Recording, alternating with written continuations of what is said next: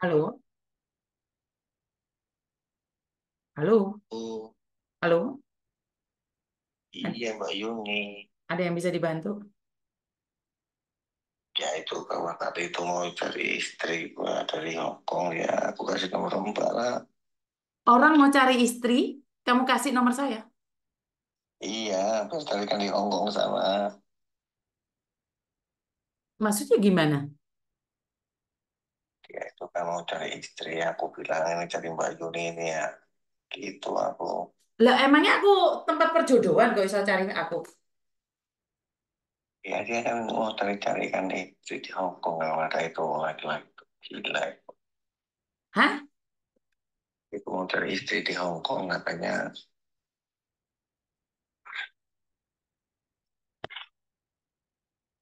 Kamu siapa sih sebenarnya?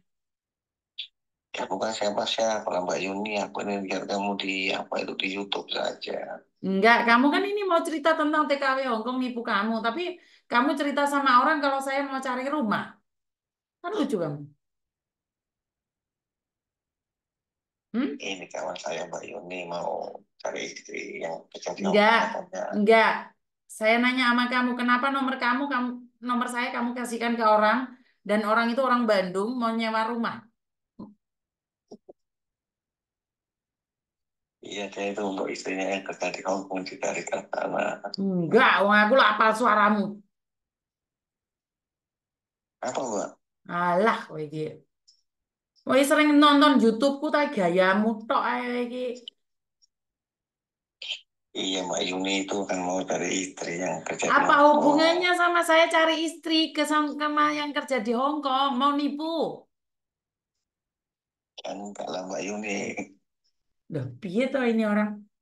Loh, apa hubungannya sama saya? Kan gak ada hubungannya.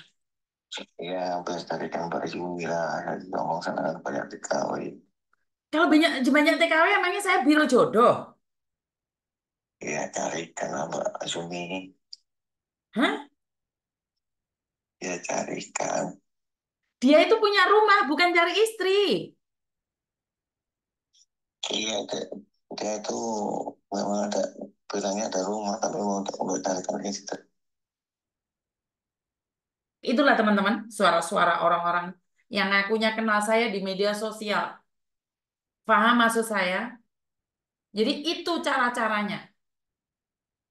Dia mengatakan pada orang, orang-orang di luar sana, nomor saya itu dihubungi oleh orang-orang Indonesia, dikatakan bahwa saya itu sedang cari rumah di Bandung. Kan nggak lucu. Tapi ya sudahlah, nggak apa-apa. Nggak apa-apa gitu loh. Jadi kalian harus apal suara laki-laki.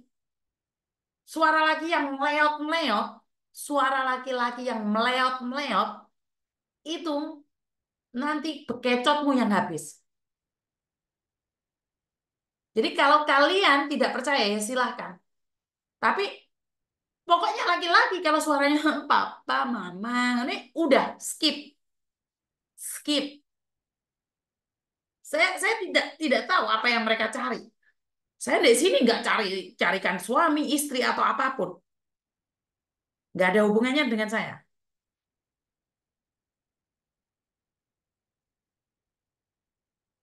Jadi buat teman-teman,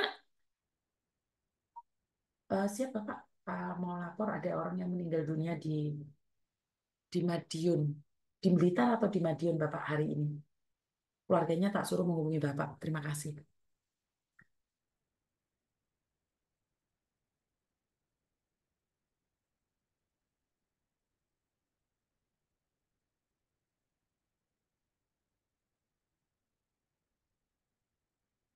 Jadi sekali lagi ya buat teman-teman ini ini informasi yang harus berhati-hati ya. Kalau kalian di luar sana ada laki-laki yang meleot-meleot, itu pasti mau makan bekicot. Kalau kalian tetap memaksakan diri, ya terserah urusan kalian. Saya sudah mengingatkan kalian berkali-kali. Saya mengingatkan kalian berkali-kali. Jangan pernah percaya sama laki-laki dari media sosial. Laki-laki dari media sosial itu yang akan menghabisimu. Nggak akan ada orang tiba-tiba baik-baik sama kamu. Nggak ada. Kecuali kamu sendiri yang ganjen ya. 10. Saya, saya Mbak Tanggolei yang meninggal dunia tadi. Yang meninggal dunia tadi mana ya? Langsung tak hubungkan saja sama pemerintah biar nggak kesuwen.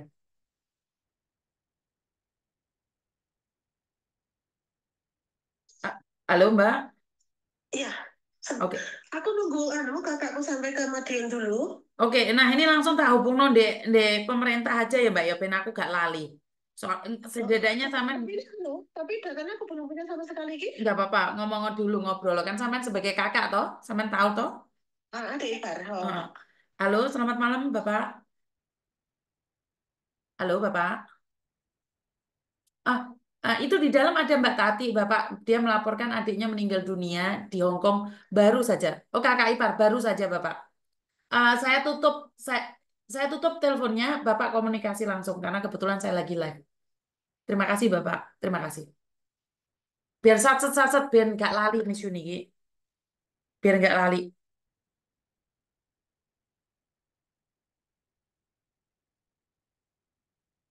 Ya karena kalau nggak Miss Yuni pasti lupa. Ndang mari ben dan diurusi mbak pemerintah.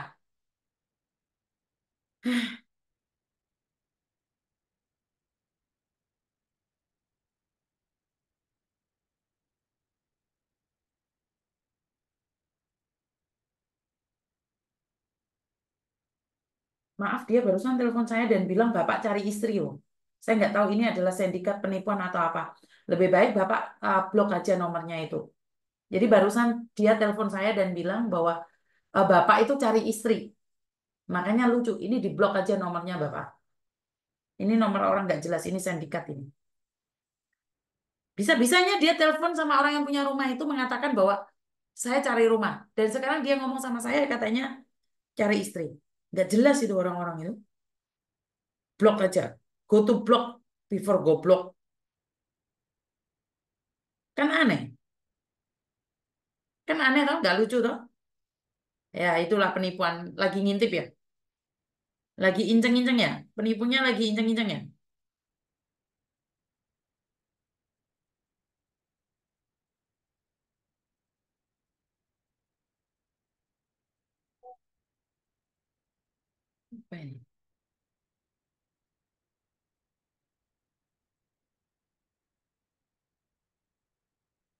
Penipu macam-macam ya. Suaranya melayat-melayat, manuknya yang jelepot-jelepot deh. Ini codotnya inceng-inceng memang.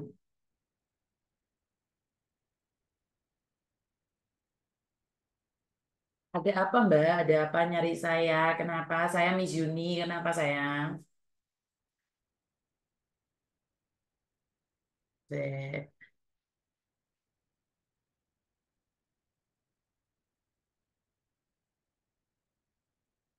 Wong lanang iki kenalan di media sosial.